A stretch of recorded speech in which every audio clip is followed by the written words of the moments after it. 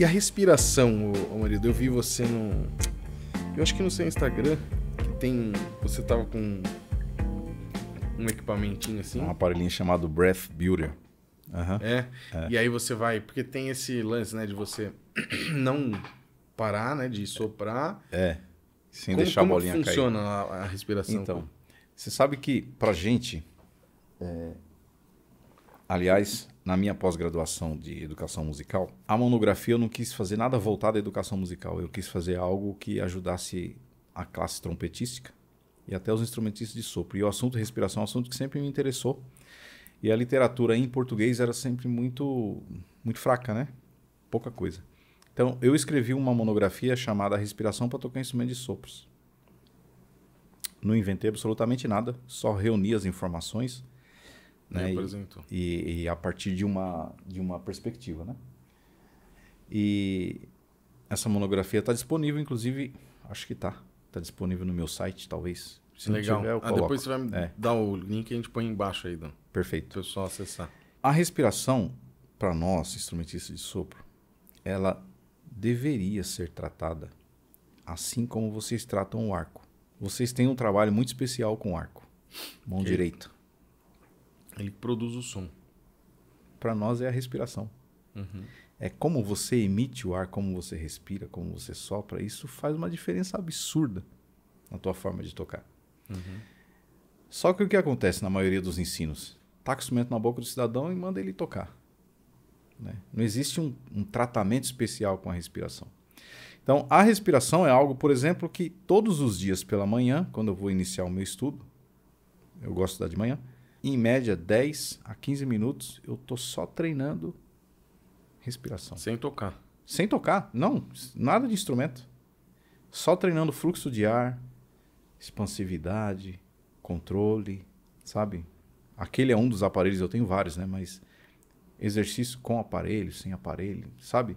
Que é pro pessoal só ver. Depois vai lá no Instagram do Amarildo para ver como é que é, né? E é uma tem um tubo, tem uma bolinha, quando você sopra a bolinha, sobe, né? E quando eu puxo o ar, ela fica em cima também. Eu não e... posso deixar ela cair, esse é o, é o desafio. Ah, então ali você não está soprando o tempo todo? Não. Pensei que você estava respirando. Não, eu estou soprando. Depois... Isso é para você não para você não fazer entre as a soltura do ar, a exalação e a inspiração, não fechar não a garganta e não criar um gap entre uma coisa e outra. E dar uma como se fosse a troca do arco. Exatamente. Para não ficar. Exato. Então, às vezes, isso. você está tocando algo, sei lá, uma, uma. Dom Juan. Tem um solo de trompete lá.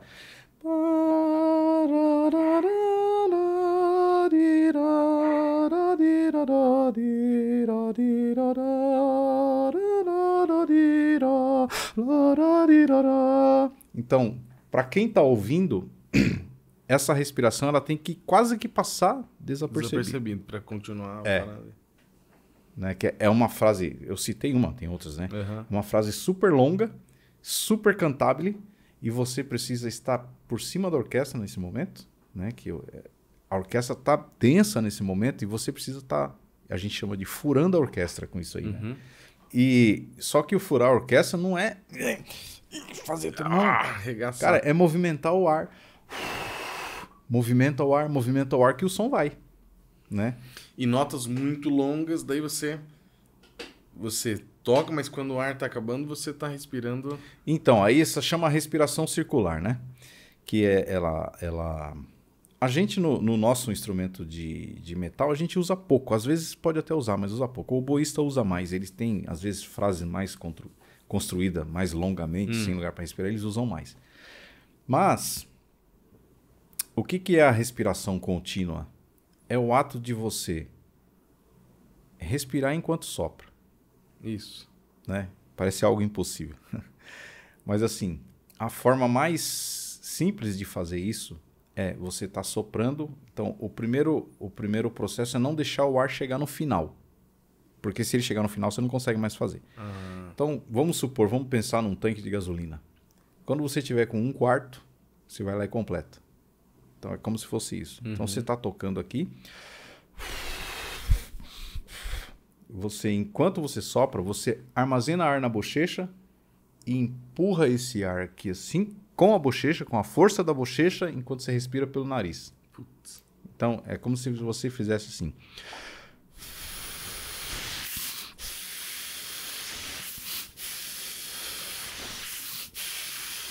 Cara. Esse equipamento é isso que você tá fazendo? Não, nesse Esse equipamento não. não, é. Ah, eu tive não. a impressão que era isso. É, parece, né? Mas não é. Esse não. Esse é só trazer fluxo de ar Ah, mesmo, tá. que é. E aí, pro cara conseguir fazer isso daí, demora um pouco. Então, você dá esse aparelho na mão da pessoa, na ânsia da bolinha não cair, o que ele vai fazer é isso aqui, ó, Força. Força. desesperado. E você pode fazer isso, por exemplo, contando até seis.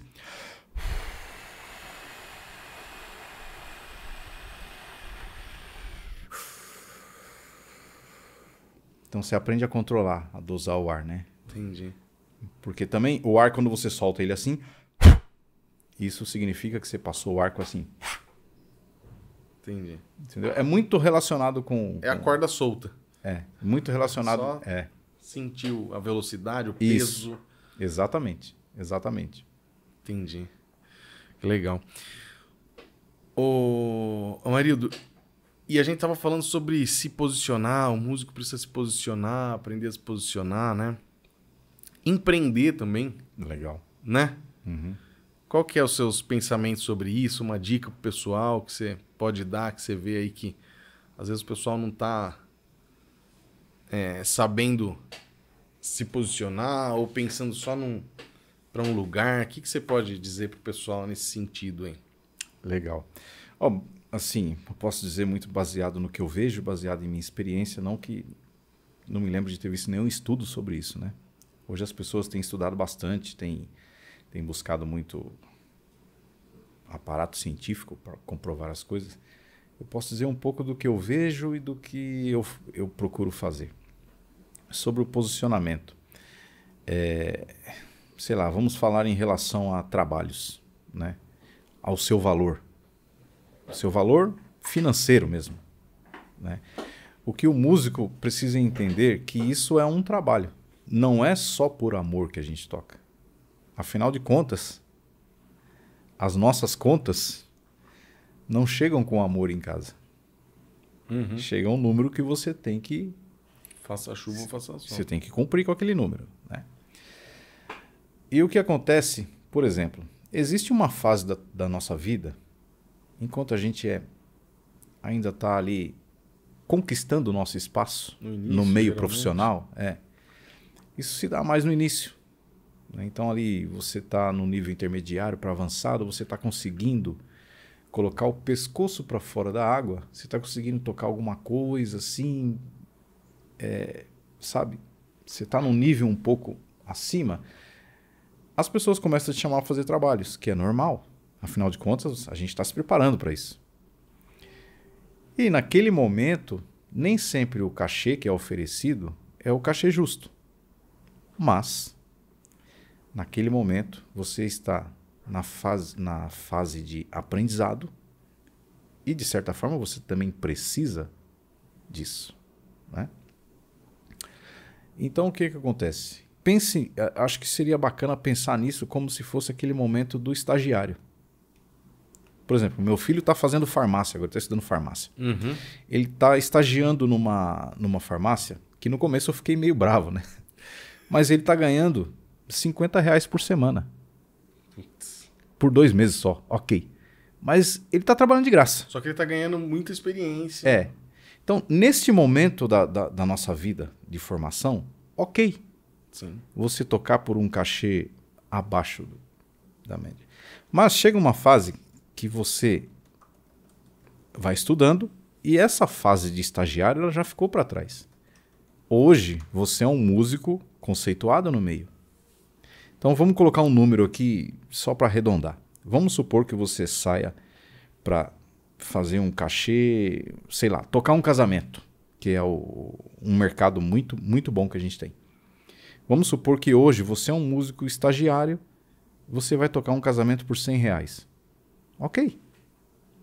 Cara, é uma graninha, é pouco, mas é uma graninha que vai te ajudar. Uhum. Pouquinho vai te ajudar, pouco, mas vai te ajudar. Mas você também não entrega assim aquele produto lá, né? Tão assim superior. Uhum. Você está aprendendo. OK.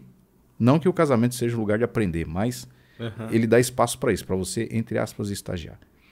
Só que você estudou, se formou, ou mesmo que você não tenha se formado, mas você foi estudando, foi adquirindo mais habilidade, foi conquistando outros espaços, começou a ser chamado para tocar em orquestras profissionais, sabe?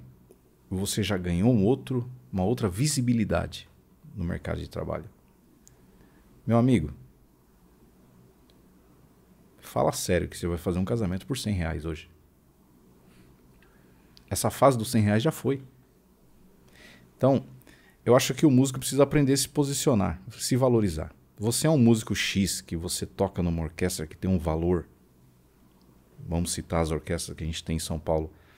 É, OSESP, Teatro Municipal, OSUSP, Teatro São Pedro. Você é um músico que chegou numa orquestra dessa. É sério que você vai fazer um casamento por 100 reais? É um direito seu. É um direito seu. Mas é sério que você precisa fazer um casamento por 100 reais? Ou Então- às vezes o cara já tá chegando nesse nível, ele tá próximo já, isso às vezes não teve a oportunidade de fazer o teste, de passar, Isso. mas ele se, fica se posicionando como o cara que tá. Esse ponto E também. ninguém vai enxergar ele como um cara de fazer cachê na USESP, de Exato. fazer cachê na USP. Exatamente. Exa Porque esse- ele não se posiciona, ele não tá fazendo as pessoas enxergarem ele Exato. daquele jeito. Eu falei de orquestra, sim, mas claro, tem esse cara também. Que, aliás, na Inglaterra existe esse mercado muito forte, que o cara não toca em orquestra nenhuma, ele vive de freelance. Isso eu, eu falo porque eu conversei com um inglês sobre isso, um trompetista. Ele falou: não, eu saí de orquestra, não toco em orquestra nenhuma, eu prefiro viver de freelance. Lá. Entendeu? É um mercado, só que é o freelance. O cara vai fazer um cachê numa orquestra, por exemplo, um- um- um- vai fazer um cachê, vamos supor que fosse aqui em São Paulo, um cachê na USESP. É muito bem pago o cachê da USESP. Muito bem pago.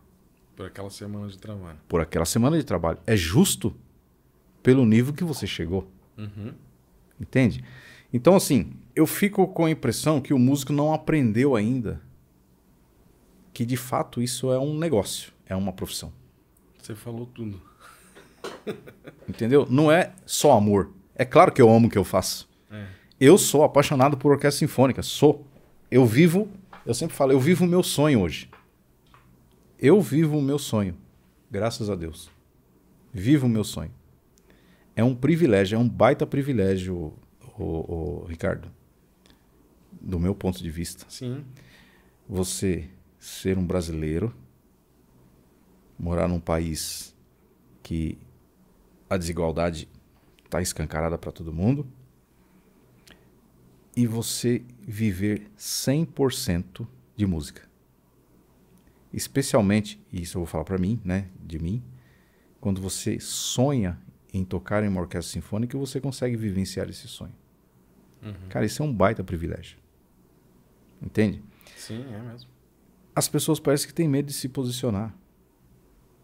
Então, quando você chega assim, ah, tem um casamento em tal lugar, eu já tive alguns de sabores assim, de a pessoa ligar para mim. Não, tem um, porque eu toco, de vez em quando eu toco em casamento assim, não tem problema. É, aliás, eu gosto disso. Tem um grupo que eu gosto muito de tocar que é do Renato Miziuk. É muito organizado esse grupo. Esse, tipo, é muito profissional, sabe assim. Tô citando ele, tem- existem outros, mas ele é o que eu mais toco é, é muito organizado, com regência, uma orquestrona, Legal. sabe? O, o, o cachê é justo, tal. Aí a pessoa não me conhece, nunca me viu, me- alguém passa o meu telefone, é, sei lá, vou dar um número aqui, tá? Vamos supor que hoje, para tocar num casamento, o cachê seja de 300 reais. Um exemplo, tá? Tô dando um exemplo. Aí o cara me liga e fala, ah, escuta, vai ter um casamento em tal lugar, sei lá. Vai ter um casamento em Atibaia. Atibaia já não é São Paulo, né? Já, é longe. Vai ter um casamento em Atibaia, tal, o cachê é 200, alguém me indicou você, que não sei o quê. Fala, amigo, muito obrigado, mas não, Não posso. Não, mas é não sei o quê. Aí quando o cara começa a insistir muito, eu falo assim, ô, ô, meu querido, desculpa a indelicadeza, mas você acha que eu vou sair da minha casa para ir até Atibaia, tocar num casamento, num domingo, por por 200 reais. Não, mas aqui é a noiva. Você vendeu por esse preço porque você quis. Você não valorizou o teu trabalho, então não desvalorize o meu. Pois é. Porque é o seguinte, é, é, Ricardo, você deve. Eu não, eu não conheço muito o que você já fez com música, mas você deve ter estudado muito. Por exemplo, você disse que estudou em Tatuí. Tatuí não é aqui do lado. Não. Tem que viajar, meu amigo. Uh, e no final ia três vezes por semana. Entendeu? Olha o que você já investiu. Sim. Então, eu, eu, eu como a gente estava conversando antes de, de entrar aqui no podcast, eu convivo, eu tenho muitos amigos é, que são do mundo corporativo, né? Alguns diretores de banco, outros presidentes de empresa, outros juiz, é, empresários tal. E a gente conversa muito, eu fico aprendendo muito com eles. O nível de investimento deles é muito alto na carreira, é alto. Mas eles não fazem nada por pouco, entende? Saber enxergar, né? Só uma licencinha aqui para lembrar você que está assistindo esse podcast aqui, quando está vendo os nossos vídeos, eu peço para você, que é de graça, não custa nada para você, deixar o seu like se você está gostando do vídeo. Deixa o seu comentário, está assistindo, surgiu uma dúvida, quis comentar alguma coisa, deixa aqui que eu mesmo venho responder. E não se esqueça, se inscreva no canal, ative as notificações para você sempre estar tá recebendo as notificações. Opa, saiu o podcast fulano. Opa, saiu esse vídeo aqui ali. Se inscreve no canal, você fortalece aí pra gente sem gastar um centavo e tá ajudando aqui o nosso canal também. Vamos lá, vamos continuar. Eu estava na casa de um amigo na Inglaterra. É, inclusive, ele é irmão nosso também, encarregado regional na Inglaterra. E ele tem uma empresa de guia turístico. Hum. E daí ele recebeu uma ligação de um outro amigo brasileiro lá. Ah, então tem um pessoal que tá vindo aí do não sei de onde e tal, e eles queriam o seu, o seu transporte aí de turismo, ele fica o dia inteiro à disposição. E eles estão pagando tanto. É, não, eu, eu posso te pagar tanto. E aí eu, eu tava só ouvindo né, ele no telefone e ele falou assim: Ó, oh, você me desculpa. E o cara precisa. Tá? Ele precisa do trabalho. Ele vive disso. Ele falou: Você me desculpa, mas esse valor aqui não dá para trabalhar nem duas horas. Sinto muito. Ele falou: Sinto muito. Isso não é o valor que se oferece. Pronto. É isso aí. Se posicionou. Se posicionou. E ele está precisando. E se vai ligar para um outro que também. Aí o mercado fica ali. Exatamente. A nossa, como a gente estava falando antes, se a nossa classe tivesse um pouquinho mais de união, a gente seria um pouquinho melhor remunerado. Meu amigo, a nossa dedicação para esse negócio é muito alta. Eu que sou um cara que estuda pouco, tá? Eu não sou aquele cara que estuda muito. A minha média de estudo diária são três horas. Quando eu tô com preguiça, eu estudo duas. Estudando, fora fazendo as outras coisas. Eu tenho três horas de ensaio na orquestra, eu tenho que ser. Isso estudando com o instrumento na, né, na mão. Na mão. Uhum. Fora, às vezes, 10 horas da noite, você tá com a partitura ali, ó. Tá olhando, tá escutando, tá, tá anotando. Né, anotando, tá fazendo anotações, Sim. você tá ali, que arcada que eu posso fazer, não sei o quê. Você tá trabalhando, cara. A gente tá quase que 24 horas trabalhando. Às vezes você até sonha fazendo até. e aí a pessoa chega, não, mas é só isso. Você só tem que ir lá e fazer isso. É. Ou a liga, né, e fala assim, mas viu, mas é só a entrada da noiva. Não Isso. Tem, não é um monte de músicas. É. eu falo, cara, mas não adianta. Então, assim, as, é, o músico, especialmente quem está se aproximando agora do, do, do, nível profissional, precisa aprender a se posicionar, precisa aprender a se colocar no mercado. Claro, tem todo um, um sei lá, isso, isso sou eu dizendo, tá? Não, não que isso seja estudado. Uhum. Eu acho que tem todo um aparato também, né? É, a forma, sabe, eu tô vendo a sua estante ali cheia de livros, as pessoas precisam se inteirar das coisas, precisa ler um pouco, sabe? Leia um pouco sobre o mundo corporativo, leia... é um negócio isso aqui. É um negócio, cara. É um nego... Eu amo o meu negócio, é diferente, mas é um negócio. E, e também é, se aproximar das pessoas e ouvir as pessoas mais experientes, né? Uma vez, para concluir isso, uma pessoa, um, aqui um restaurante muito chique aqui de Indaiatuba, me ligou e falou assim, ó, a gente vai fazer um... Isso faz uns 6, 7 anos. Nós vamos fazer um jantar, não lembro se era dia dos pais, dia dos namorados, e a gente queria um violino aqui tocando e tal, papapá. E eu fechei esse restaurante e falei assim, ó, eu cobro tanto. Era, sei lá, eu cobrei, vamos dizer, 800 reais uhum. para ir lá e ficar uma hora e meia e ir embora. Uhum. Aí fui embora. Ah, mas não sei o quê. Eu falei, não, cara, esse daqui é assim. Eu vou tocar meia hora, descanso 10 minutos, toco mais meia hora, descanso 10, toco mais meia e vou embora. Não, beleza, ele fechou. Passou o ano, chegou no. Ou nem passou o ano. Acho que isso aí foi no dia dos namorados. Quando chegou no dia dos pais, ele me chamou de novo. E assim, o, o dinheiro era muito bom, Uhum. pelo tanto que você ia estar lá, era pertinho de casa. E eu fui de novo. No outro ano, no dia dos namorados, ele me chamou de novo. Ou era dia das mães. Aí eu falei assim, ó, pra mim não dá, eu não vou poder essa vez, já não fazia sentido pra mim. Sim. Ele falou, ah, puxa, agora eu precisava de uma pessoa, o pessoal gosta e não sei o quê. Eu falei assim, ó, é, fala com fulano de tal, tá bom? Só que eu já conhecia que o pessoal, eles eram malandro. E eles Uhum. iam pegar... E eu indiquei umas pessoas que eram mais novos e estavam mais começando. E eu sabia que eles não iam ter esse jogo de, de Uhum. negociar. Aí eu peguei e falei assim, ó, fulano, eu expliquei aqui, indiquei você pra esse trampo aqui. Ele vai te ligar. Tá bom, passou um dia, no outro dia eu falei assim, ó, e aí, ele ligou pra você? Só que cuidado, que ele é meio malandro, ele vai tentar jogar lá embaixo e tal, porque ele tá com uma outra pessoa lá que tá trabalhando agora pra ele, que já tentou falar, não, que tá muito caro, que não sei o quê, mas eles pagam. Uhum. E se ele já fez duas, três vezes, é porque ele teve retorno. Claro. Quanto você falou lá, e eu tentei entrar no assunto assim, ó, vamos, eu vou te falar quanto eu tô cobrando, vem cá. E essa pessoa não deixou nem eu falar. Falou, viu, por que que você quer saber o quanto eu tô cobrando, que não sei o quê, e papapá, e não sei o quê. Eu falei, o quê? Beleza, vai lá, vai lá. Aí depois uma outra pessoa veio e falou, viu, aconteceu isso, isso. Eu falei, cara, eu tava tentando falar pra ela, ó, eu cobrei isso daqui, ele vai tentar jogar menos, não faça por menos. Porque ele já me pagou duas vezes isso. Claro. E a pessoa rasgou, e eu fiquei sabendo que foi por metade do preço. Aí, ó. Você tá vendo? E ainda arrumou mais outro instrumento, e foram em dois e três, e, e o cara gastou menos do que ele tinha feito, e conseguiu mais dois, três instrumentos. É, aí fica Aí é difícil. uma questão, não soube se Fica posicionar. difícil, é. Fica É não é? difícil. Absolutamente. Não sabe se posicionar. Eu, eu não sei, talvez. Isso é uma coisa que lá, quando eu dava lá na faculdade, eu sempre dizia que era necessário que a gente tivesse uma aula de ética, De ética, em primeiro lugar, ética profissional e empreendedorismo. Sabe por quê? Não existe vaga em orquestra para todo mundo. Claro que não. e às vezes as pessoas não percebem, né? Não existe vaga em orquestra para todo mundo. E segundo, não é todo mundo que quer tocar numa orquestra.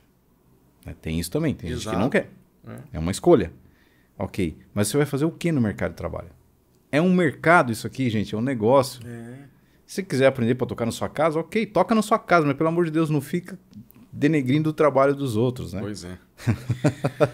Marildo, pra gente encerrar, então, uma dica aí pro pessoal agora da CCB, pros músicos da CCB, pros trompetistas ou pra todos.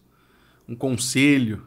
Então, é, hoje, com, com o advento da internet, é, eu acredito que se a gente tiver um pouquinho de esforço, a gente consegue aprender um pouquinho mais, se dedicar um pouquinho mais, de forma que, afinal de contas, o que está na nossa boca é sempre isso. Eu toco para louvar a Deus. Toca para louvar a Deus. Excelente. Eu também faço isso. Agora, a gente tem que descobrir que Deus que a gente está louvando. Por quê? O Deus que a gente acredita, né? Ele é bem exigente. Né? E detalhista. Como, como você fez a abertura, eu gosto muito de ler a Bíblia, né? Eu leio a Bíblia todo dia. Você vai ver, quando, quando Deus tirou o o povo do Egito, o povo de Israel do Egito, e ele, lá no deserto, ele mandou construir a arca, o tabernáculo, né, a roupa do sacerdote. Se você for olhar, são tantos detalhes. Por exemplo, na roupa do sacerdote, olha só o nível de detalhe. Tem um, um- um- na borda, tem um, um cordão assim que é chamado de tzitzit. É tipo umas franjinhas assim. né? E aí sabe o que, que Deus falou para Moisés? Olha o nível do detalhe. Nessas franjinhas, que elas serão de alguma cor, talvez branca, de todas essas franjinhas você vai colocar uma azul. Uma, um fiozinho azul. Mas por quê, né? Porque toda vez que você olhar para esse cordão azul, você vai se lembrar da minha lei. Olha o nível de detalhe. Lá no, no, na tampa do propiciatório, lá da arca, quando Deus falou para ele construir os dois querubins, ele detalhou: eu quero um querubim de frente para o outro, de maneira que uma asa, apenas uma asa, toque a asa do outro anjo.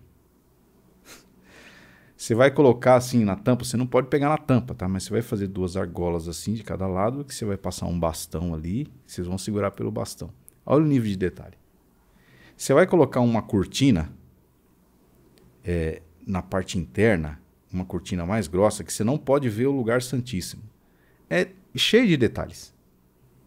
E aí tem uma parte que eu, que eu, que eu, que eu gosto muito de citar, está em 5 Segundas Crônicas, capítulo 5 já chegando, o capítulo é pequeno, chegando já no final do capítulo, diz assim: esse aqui é o parênteses que eu vou fazer agora.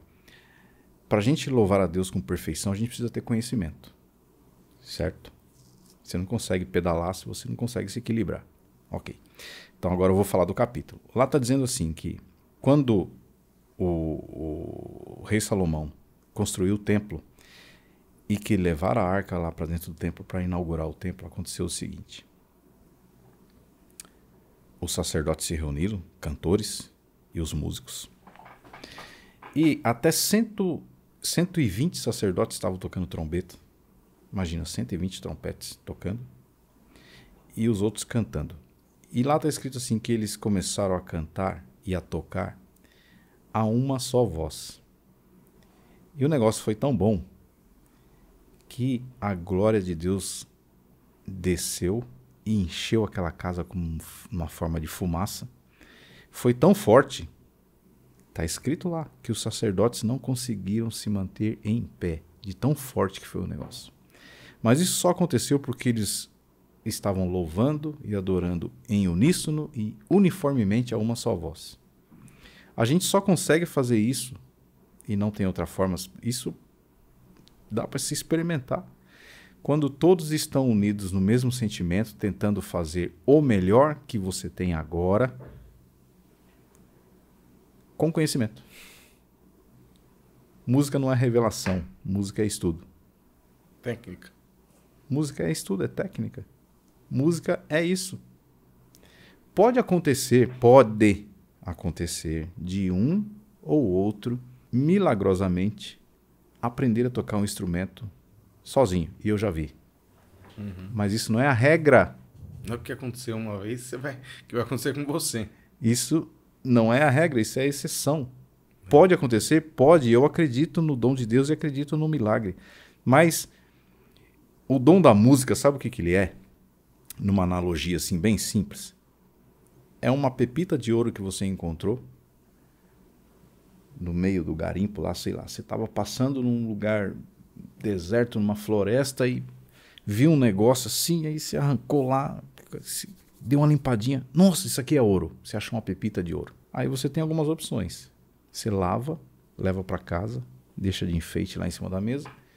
Ou você pode, a partir daquela pepita de ouro, construir joias, construir outras coisas. O dom é esse. O dom é como se ele fosse uma pedra bruta. A gente tem que lapidar esse dom. Então, a, a, a dica é essa. Busquem conhecimento, mas o conhecimento é para agregar valor e para ser compartilhado. Nunca usar o conhecimento para pisar nos outros. Isso isso é tipo é a mediocridade do ser humano. Você adquire conhecimento para pisar nos outros, você não entendeu nada. E, e se você está fazendo só para louvar a Deus, que seja o melhor possível. Exato. Né? E tente fazer e se esforçar sempre para melhorar. Se eu que toco no USP, falo do concerto agora que eu tive sábado, a gente tocou a segunda sinfonia de Brahms e um concerto para sete instrumentos do Frank Martin. A sala repleta, 350 que é o que cabe lá, lotada.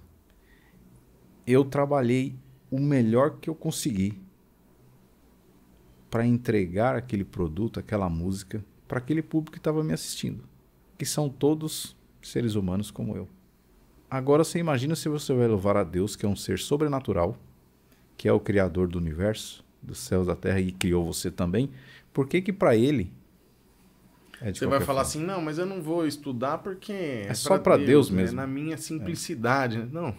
E quem disse que conhecimento e simplicidade não podem andar juntos? Exato. Uma coisa que eu queria falar rapidinho também, desculpa, é só que você que está assistindo aqui esse podcast, você pode se tornar membro do nosso canal. A partir de R$ 6,99 é o primeiro nível de assinatura e você tem acesso já a centenas de vídeos exclusivos para quem é assinante do canal. Então, por um valor muito pequenininho, você tem acesso a muitos vídeos exclusivos como os hinos gravados em soprano e contralto, com introdução, um vídeo só do soprano, um vídeo só do contralto. Tem também um nível de assinatura que você tem o curso de MSA do método da CCB. Procura aí qualquer vídeo do nosso canal, Dicas para Violinistas, no computador, embaixo, aí tem um botãozinho Seja Membro.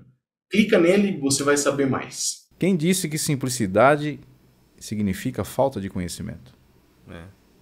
Né? Aí que está o ponto. Perfeito. As pessoas confundem as coisas.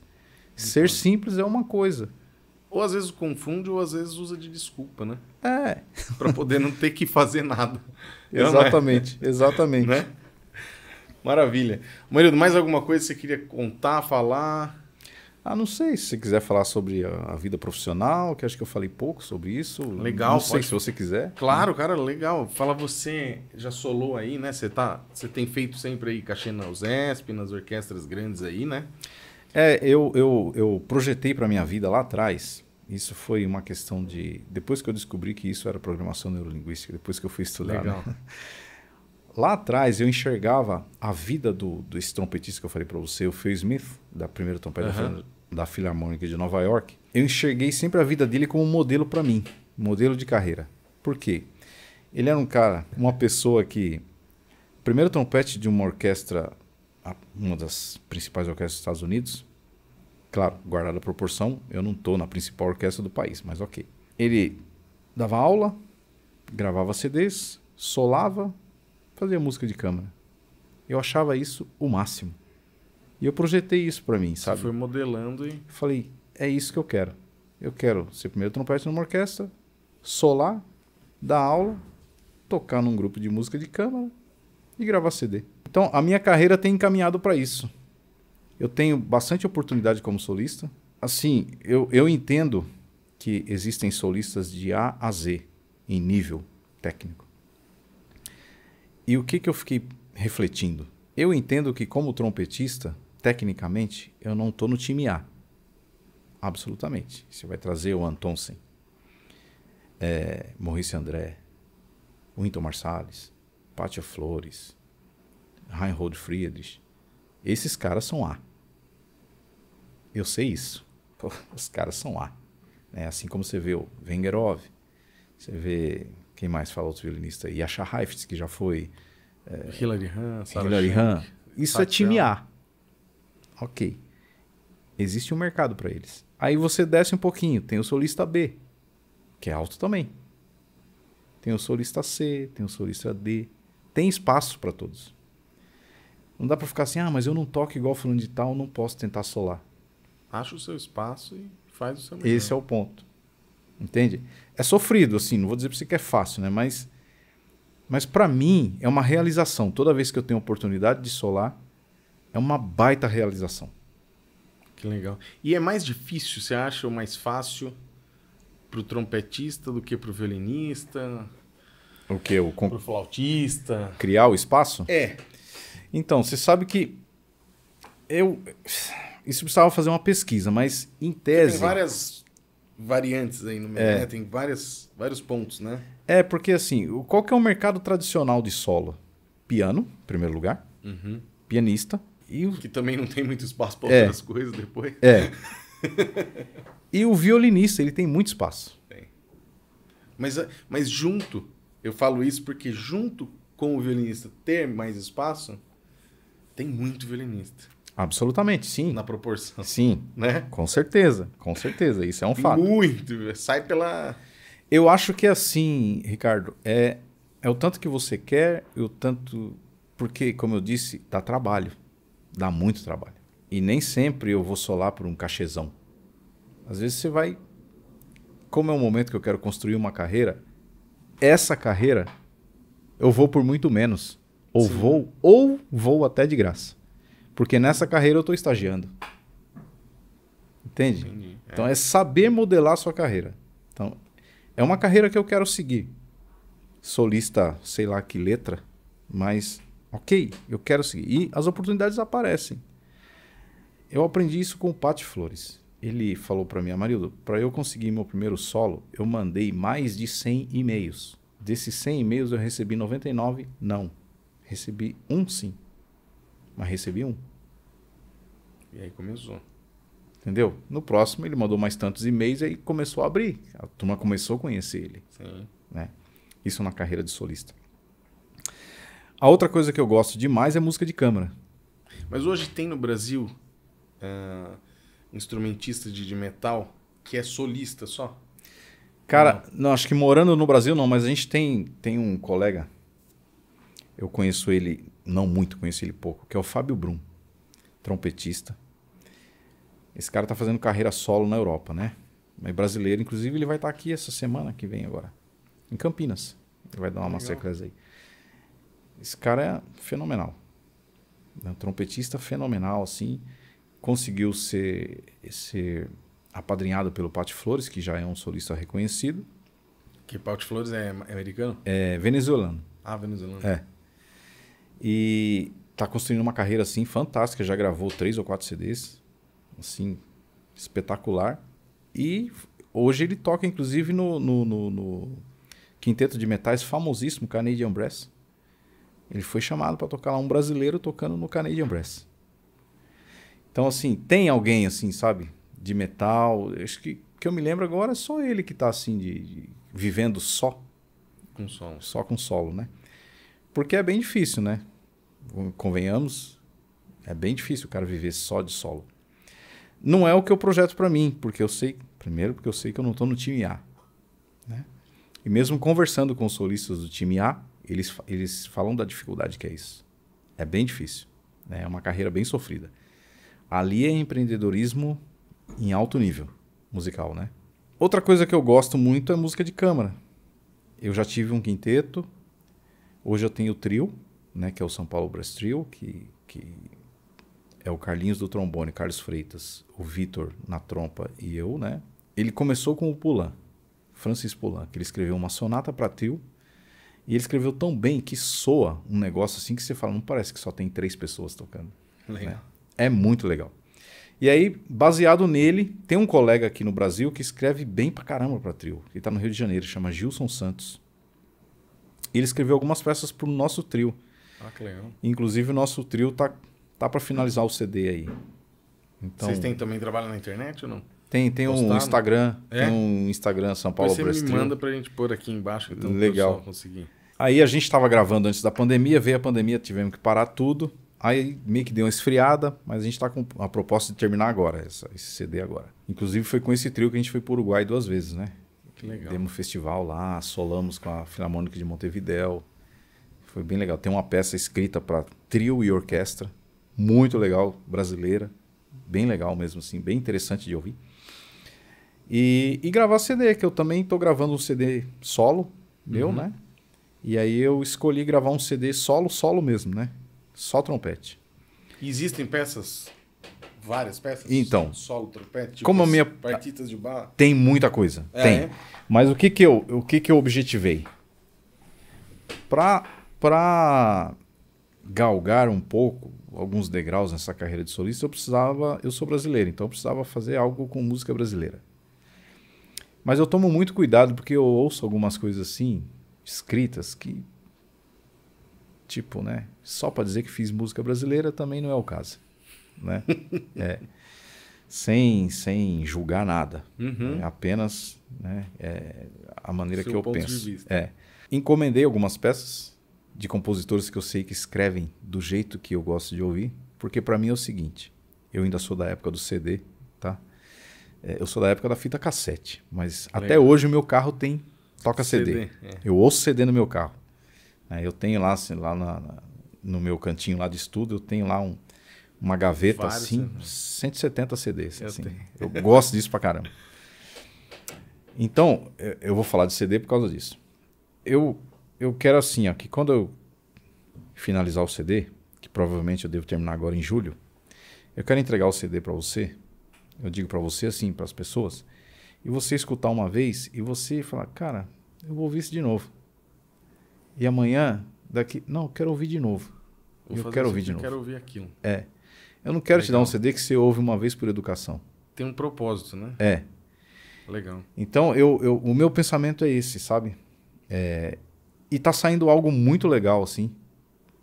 Até eu tô com. com eu contratei um. Eu posso falar, né? O Wagner Polistil, que tá sendo meu diretor de gravação. Até ele gostou. Ele falou, cara, vai ficar bonito isso aí. Porque não é algo assim que, tipo, não faz sentido, né? Então, até posso dar um spoiler que o nome do, do, do CD, a princípio, vai ser Solus solos, né? É, música brasileira para trompete solo. A ideia é essa. E só música solo mesmo, assim. Bem. Legal. Mas tem muita coisa assim que você fala. Ah, vou ouvir isso de E novo. De música brasileira ou tem daí misturado? Não, só brasileira. Ah, só brasileira só mesmo. brasileira. A proposta é o CD inteiro só com música brasileira. Fora, tem muita coisa assim sensacional também. Mas eu quero iniciar com isso. Depois, aí sim, eu quero fazer outras coisas, mas outros compositores, quero gravar com piano, possivelmente no futuro gravar com orquestra, quem sabe, mas vamos né, vamos abrindo assim a porta devagarzinho. Que legal, parabéns. Que bacana. E depois, quando você for lançar então o CD, a gente marca um podcast pra falar do CD, Oh, que legal. mostrar e divulgar aí. Vai ser Já um tá prazer. convidado já. Vai ser um prazer. Maravilha. Mais alguma coisa do seu trabalho aí que você faz de, de, de, de orquestra, né? De, da sua parte profissional e de orquestra? Então, eu como você abriu aí a, a Tem o muito- podcast, É muito difícil. É, a pergunta é boa. A cadeira de primeiro trompete é bem difícil. E, e no caso, só um, um parênteses. O primeiro. São quantos geralmente? Três? Depende da, da sinfonia, É. né? Mas a média são dois, né? O Que mínimo as- dois. que as or- a- mas que as orquestras contratam. Depende da orquestra também, né? reversa. Se é uma orquestra mais clássica, como é o caso da USP, ela é uma orquestra menor, uma orquestra mais formato clássico. São dois só. Dois só.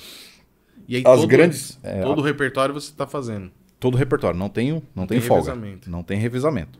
As grandes orquestras, como é o ZESP, por exemplo, o ZESP tem quatro. Eram cinco, eles têm quatro agora. Teatro Municipal tem quatro, é, que são orquestras maiores. E quem faz mais Mahler, Bruckner, grandes sinfonias. né? Essas daí tem dois, três trompetes escritos? Quatro. Quatro sempre escrito? Não, é, tem quatro trompetistas, mas nem sempre tem quatro trompetes escritos. Ah, né? tá. Algumas tem é mais. ter quantos escritos? Escrito? Dois. Dois a três. Dois ou três. É, isso é o normal. Dois, três, dois, três. Quando é algo maior, tem quatro. Aí depende do compositor, ele bota cinco. Mas normalmente dois e três, né? É, o- é é o parzinho e mais um. Normalmente é isso aí. Por exemplo, quadro de uma exposição é uma obra que é uma transcrição, né? Claro, do, do Ravel, mas é para três. Brahms, todas as sinfonias de Brahms, dois. Schumann, Schubert, Haydn, Mozart, Beethoven, dois. Dvorak, dois.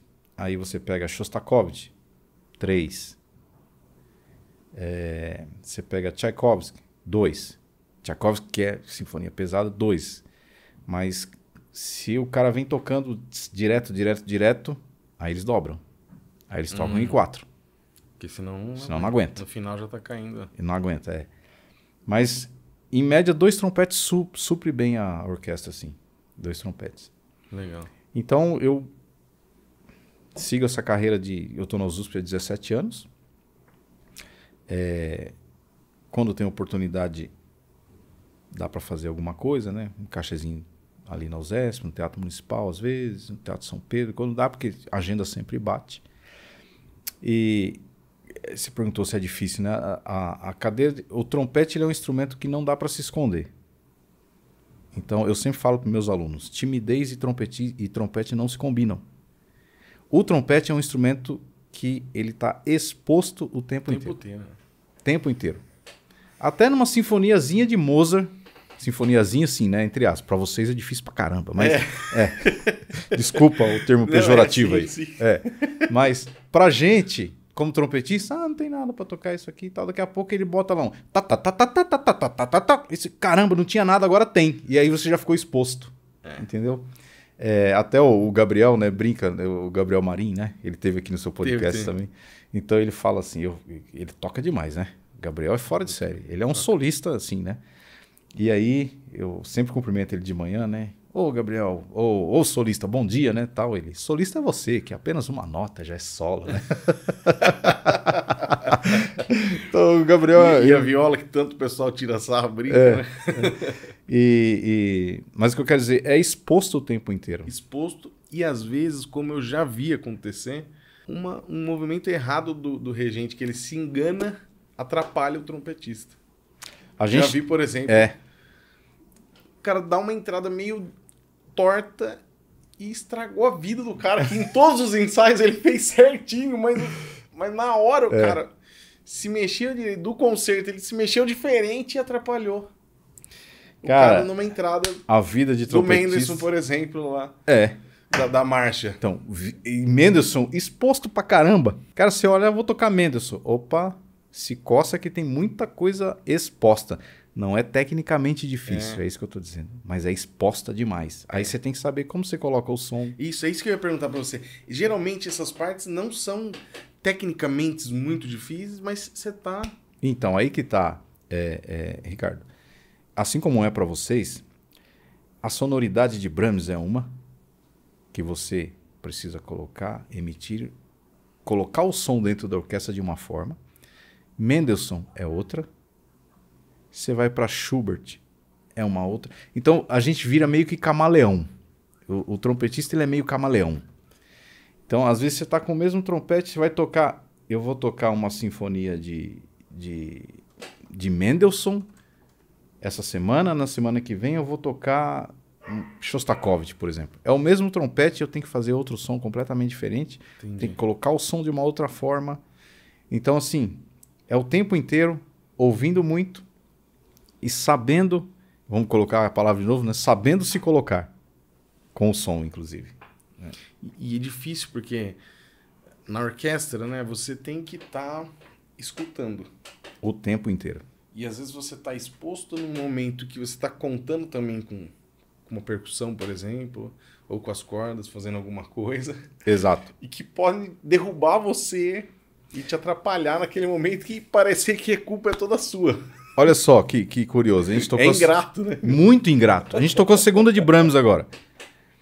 Ali no primeiro movimento, as cordas vêm fazendo lá um negócio assim, de repente a orquestra dá aquela secada no som e o trompete entra num piano.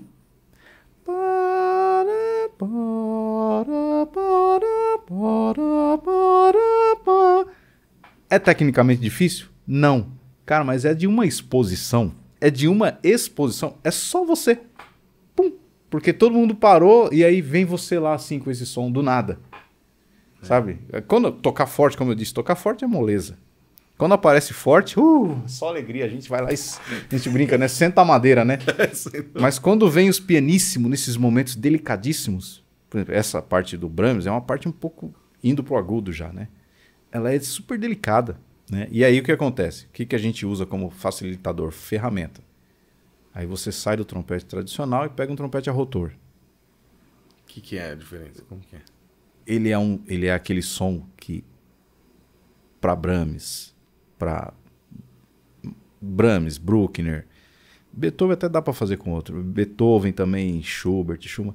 Ele é um som que ele fura menos, né? Ele Mais redondo. são assim, tudo mais- termos assim meio abstratos, né? Aham. Ele, ele ele espeta menos o som lá na frente e ele arredonda mais, ele ele chega lá na frente mais arredondado.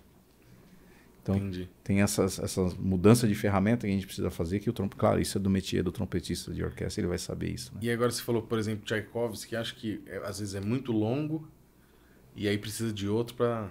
Então, depende da sinfonia que você vai tocar, de Tchaikovsky, por exemplo, a- eu já vi muitas vezes, a quarta e a quinta. A quinta, aquele final, né? Aquele negócio lá, depois que você vem tocando. Tá, tá, tá, que ele escreve quatro Fs com tutta força. É isso que está escrito na nossa partitura. Ele queria um negócio assim, mas. ah! E aí, cê, sei lá, se na semana passada eu toquei Shostakovich, para dar um exemplo. Essa semana tinha Tchaikovsky. Cara, você tá ferrado. Porque a musculatura não deu tempo de descansar cansado. ainda. Né? Porque é isso que as pessoas. Ah, você só toca, né? Cara, eu faço fisioterapia, né? Do, Aham. um problema bucomaxilofacial. E aí eu sempre brinco com a minha fisioterapeuta que nós somos atletas de pequenos músculos.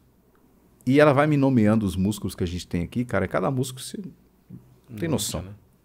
Orbicular, pterigóide, é, zigomático, é, cara, cada tudo isso é um músculo que está trabalhando ali. E aí você vem amassando isso, ensaiando e tocando, ensaiando e performando. Cara, chega uma hora que tipo é igual musculação. Não dá para você treinar supino mais. todo dia. Hoje você treina supino, amanhã você treina costas. né? Vai E ter assim. noção. E aí, nesses momentos, ou dependendo do volume da orquestra, que você vai ter que fazer muita força, aí você traz reforço, você dobra as vozes, você vai tocar fortíssimo, mas não tão fortíssimo, e aí soma com o outro ali, e aí o som chega como o Tchaikovsky queria. Entendi. Então eu tenho uma. Eu falo, eu comentei assim, brincando com, com os amigos. Falei assim, rapaz, se eu fosse encarregado. quando tá o cara tocando muito forte, eu falo assim, não, vamos. Agora vem cá, vamos, toca forte mesmo. Uns quatro hinos, mas faz o cara tocar muito. Porque eu acho que depois ele não vai aguentar. Então seria essa teoria mesmo. né? Olha, eu acho que funcionaria. Toca mais forte, mas não, não, tá pouco. Toca mais agora. você Vamos tocar tira- uns quatro. Pronto, agora cansou. Você tira agora todo vamos- mundo de dentro da igreja, vai lá, toca. To- Não, não, filho. Não, isso não é forte. né? Vai lá, arrebenta mesmo, vai. Vai até. Ele não aguenta três. E história engraçada, ô, ô, tem alguma não? Rapaz, história engraçada é o que mais tem. né? Agora Nu- difícil Nunca é- apareceu ninguém com surdina no trompete na igreja ou não? Não, lá na minha região não. Nunca ouviu? Não. Já ouvi sim. Que o pessoal gosta de inventar, né? É. O pessoal gosta de inventar pôr surdina no violino pra tocar na igreja.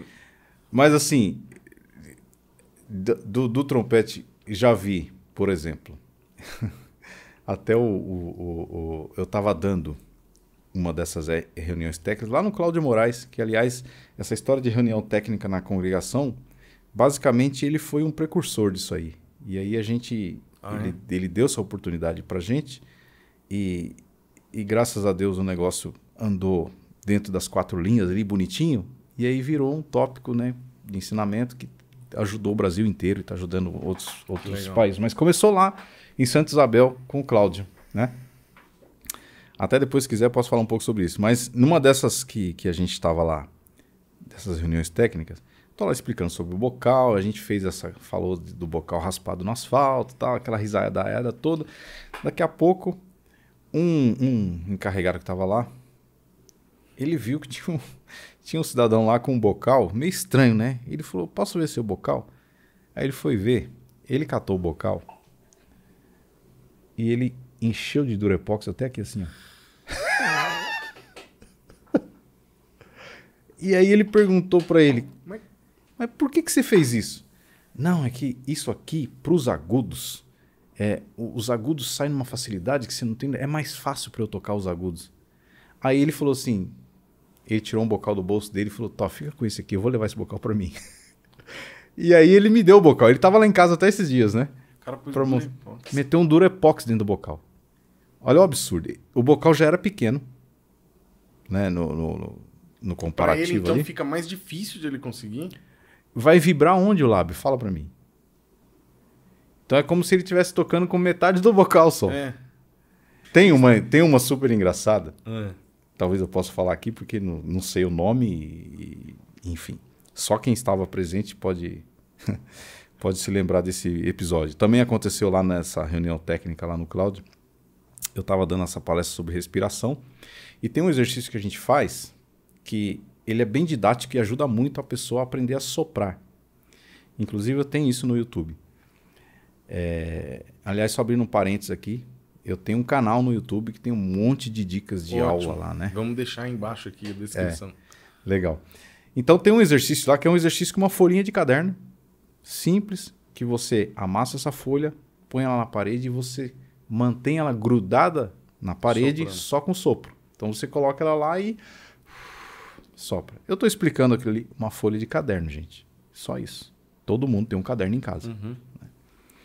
Aí o cidadão me levanta lá no meio e aí eu falo, ó, você pode usar ou uma folha de caderno, se você quiser se desafiar mais, usa uma folha de sulfite que ela é um pouquinho mais, pesada, né?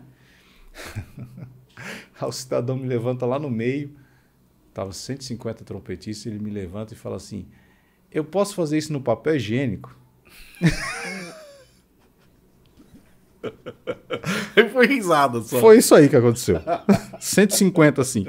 O pessoal tem uma criatividade. cara. O pessoal tem uma criatividade, né? Rapaz, aí. Aí você fica assim, né? Tipo, eu tentando controlar a risada da turma pra não deixar a pessoa sem graça, que às vezes ele perguntou na maior das Sim, inocências, sim, né? Poxa, mas. É aquela história, né, que eu falei. Usa o cérebro, mas só um pouquinho. Não precisa usar muito, não. Outro dia, uma outra também dessas. Eu tava fazendo uma dessas reuniões técnicas lá em Presidente Prudente. Pra gente encerrar aqui. É. E, e aí eu tô dando essa palestra de respiração, mesma coisa, eu tô ensinando o movimento do ar, né, tudo, como é que você movimenta o ar dentro do instrumento, essa respiração calma, tô ensinando isso. Aí me levanta o cidadão lá no meio, que eu não sei qual foi a intenção dele, mas ele pega e fala assim, irmão Marildo, é, aquela respiração cachorrinho, ela também funciona? Aí eu fiquei assim, né? Eu falei, mas o que que seria essa respiração cachorrinho, né? Aí foi pior. Por que, que eu fui perguntar, né? Porque fazer? ele imitou o cachorro. Quando o cachorro tá bem cansado, né? Ele foi e imitou assim na frente de todo mundo. Meu, acabou a reunião, né? De novo, eu digo, usa o cérebro só um pouquinho. Como é que você vai tocar? Segundo violino do Mozart. Pegou a partitura do segundo violino do Mozart. É, eu. Sabe, aí você fica assim. Você fica assim, gente, eu tô tentando fazer um trabalho sério aqui, né? Bom, mas é isso aí, Ricardo. E uma, alguma, tem alguma engraçada de orquestra ou não? Alguma zebra que aconteceu alguma vez de... Ou briga, treta de orquestra? Nossa, cara. É Ou não? como é que- não, tem, tem, Tem, claro que tem, tem. né? Agora, qual o duro é lembrar, né? Qual que eu posso contar e qual que eu vou conseguir lembrar, né? É que Tá, essas joia. outras me marcam tanto assim, É. né? Mas vamos... A hora que você for é, tiver terminando o seu trabalho do CD, tô convidado aí pra gente vir falar sobre. E talvez também, eu acho que... ah, hoje ainda não tem um, um espaço aqui, uma estrutura pra gente fazer com três pessoas, mas tô querendo isso. Ah, que E legal. talvez a gente chamar o Cláudio, Aham. você e a gente abordar alguns. Fazer um podcast, mas com pontos específicos. Abordando esses assuntos. Porque é um material que fica Uhum. e as pessoas vão compartilhando. Sim, Então é absolutamente. importante a gente fazer um negócio de qualidade, Exato. dando, trazendo conhecimento, para que eles compartilhem essas coisas e vai Perfeito. disseminando isso, né? Perfeito, Então perfeito. já estão convidados aí, vamos pensar em alguma coisa desse tipo aí. Vamos, vai ser um prazer. Tá joia? Foi muito bacana o papo aqui. Ô Marildo, obrigado. Prazer é meu e obrigado mais uma vez pela sua disponibilidade aí. Eu que agradeço por ter se lembrado de mim. Foi um prazer estar aqui, um papo gostoso, divertido. Foi um prazer, foi um prazer pra mim também. Obrigadão. Legal.